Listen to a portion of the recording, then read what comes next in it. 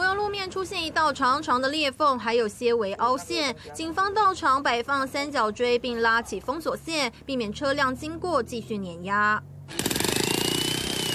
一次是因为凯米台风豪大雨导致淹水，形成地基掏空，地点就位在高雄仁武八德西路和八德一路口。不过目前，包括水公司、瓦斯公司、水利局等单位的相关管线，初步都排除有毁损外漏情形，怀疑是之前淹水冲走部分地基，真正原因必须等开挖后才能厘清。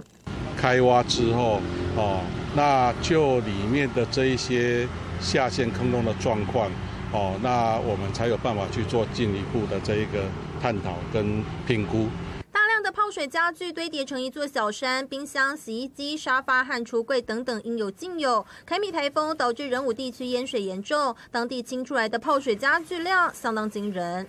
呃，统计仁武地区大概每天每天收的这些垃圾量哈，累计大概八百吨左右。台米台风过后，高雄还有许多需要复原的地方，不论是泡水家具的清理，还是台风淹水可能导致的问题，都需要各单位共同努力来恢复家园。民生新闻林淑明、陈家祥、庄淑婷，高雄市报道。